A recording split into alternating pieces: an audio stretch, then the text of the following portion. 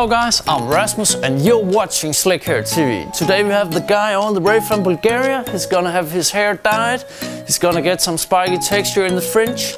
It's gonna be short. And also guys, remember the secret giveaway. You just need to make a comment down below. Then you need to like, subscribe and of course share the video.